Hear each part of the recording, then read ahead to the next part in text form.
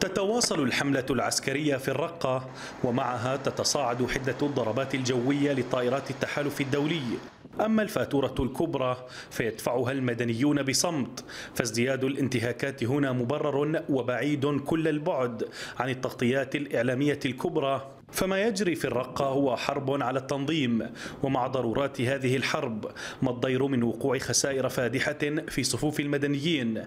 فبحسب ناشطين فإن أحدث غارة للتحالف الدولي خلفت أكثر من 33 مدنيا بين قتيل وجريح. أما التحالف فقد برر قصفه مدينة الرقة بالفوسفور الأبيض بأن ذلك يندرج تحت قانون النزاع المسلح في إطار معارك تعيشها المدينة. قائلا إنه يسمح باستخدام طلقات الفوسفور الأبيض للتعيين والإخفاء والتعليم بطريقة تراعي بشكل كامل الآثار الجانبية على المدنيين والمباني المدنية.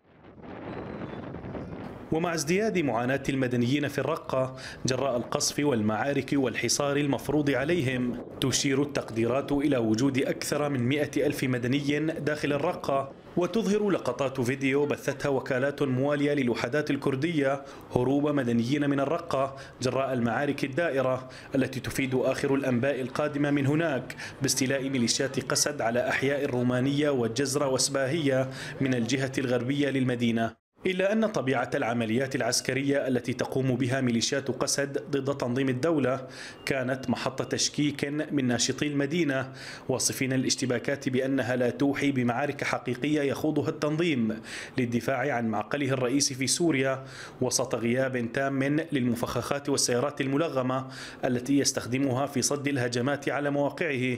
وهنا يبقى التساؤل مطروحا هل يسلم تنظيم الدولة المدينة للوحدات الكردية أم أن انسحابه مرهون بتدمير المدينة بشكل كامل وتهجير أهلها الأصليين؟